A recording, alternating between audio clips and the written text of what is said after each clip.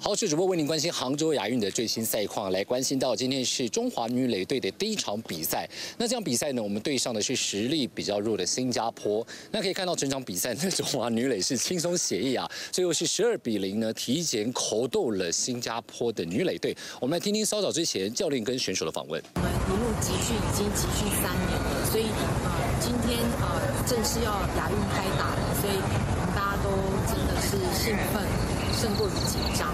所以，呃，希望我觉得大家应该都会表现的不错。我觉得这次自己在亚运的备战状况调整的还不错，在接球、传球的稳定性都有提高，并且在打击上就是会以打准球点为主。我觉得自己在练习的时候这个部分也做的还蛮好的。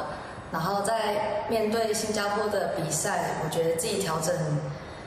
要去备战的，就是在接球的时候都能够不要有失误，并且传球可以稳定。好，那可以看到呢，女垒队是旗开得胜的。那今年的目标呢，当然就是以夺金为最大的重点。最大的对手当然就是日本队了。那包含到棒球这边可以看到呢，画面上呢，现在他们已经来到了这个他们自己棒协协调的场地来进行练习。那当然，教练也说到了，在这个最后几天的时间，就是希望能够让旅外跟职业选手趁这段时间赶快的进行磨合，也希望呢这一次呢能够继上次呢击败韩国队。演出大惊喜，更是希望能够复制二零零六年杜哈亚运夺金的荣耀瞬间。以上是 TBS 新闻在杭州的连线报道，将镜头还给彭妹。